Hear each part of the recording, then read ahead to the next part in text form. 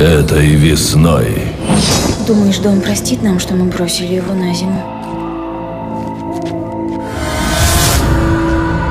Ваша дача Мне кажется, мы тут костьми ляжем. оживет.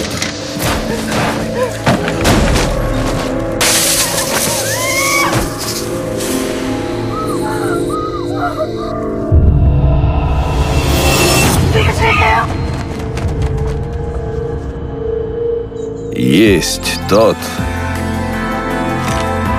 с кем начинать каждый дачный сезон не страшно.